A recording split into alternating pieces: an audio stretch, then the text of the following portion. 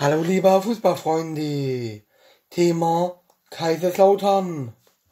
Dritte Liga 2020, 2021, siebter Spieltag. Es war Meppen gegen Kaiserslautern. Ergebnis 3 zu 2.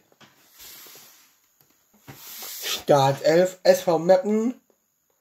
Blokmann, Ossi, Bukamer, Bröning, Harzenmeier, André Maat, Biosek, Himmel, Himmlein, Takulik, Güder, Borzig, Startelf, Kaiserslautern, Spahic, Hecher, Kevin Kraus, Schickeneker, Holzek, Ritter, Schickeneker, Skalkatis, Bachmann, Ritter, Zuck, Holzek, Ritter,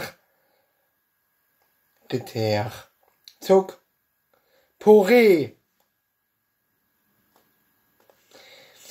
Das war's von SV Meppen gegen Kaiserslautern.